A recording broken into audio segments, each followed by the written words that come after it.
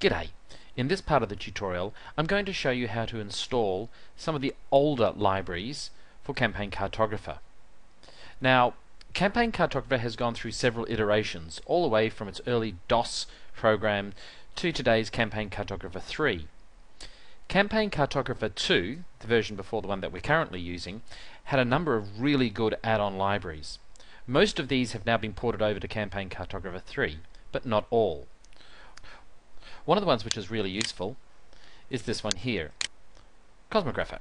Basically, this tool lets you map star systems, spaceships, planets, and so forth. It's a fantastic little tool, and even though it has not been fully ported over to Campaign Cartographer 3 yet, it's well worth installing. However, when you install older versions of the add-ons to Campaign Cartographer 3, you also need to make sure you install their compatibility update as well. So let's run the compatibility update.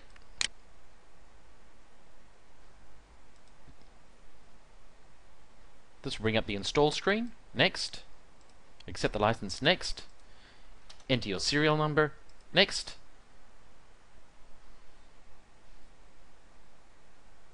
Next. And off it goes.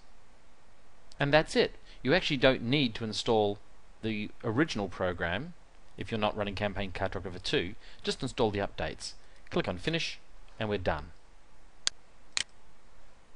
You can now see that the Cosmographer menu has been added here, and if you click it, you get all of these new symbols.